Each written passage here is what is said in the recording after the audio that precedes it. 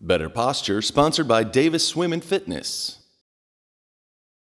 Hi, I'm Jennifer Harrison on the hunt to look 10 years younger and 10 pounds lighter.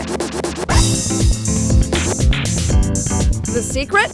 Perfect posture. I can get you good posture. Step one, get a double chin. You want to get your ears lined up right over your shoulders. That's the goal here. Strengthen the cervical vertebrae of your neck. So push Okay? back. Pushing back, exactly. Step two, open your teres minor muscles.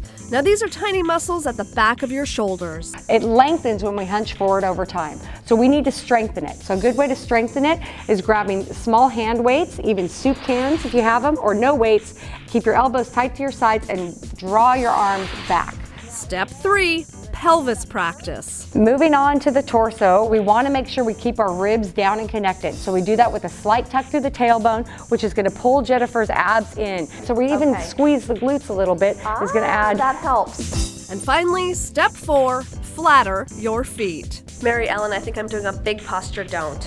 Flip flops. I noticed you have some pretty cool shoes. How do these help your posture? Well, these shoes are all actually about posture. They make you walk anatomically correct, so you walk on your heel first and then to your toes. But it makes you build strength in your hamstrings and your glutes and your abdominal muscles, which all support the spine.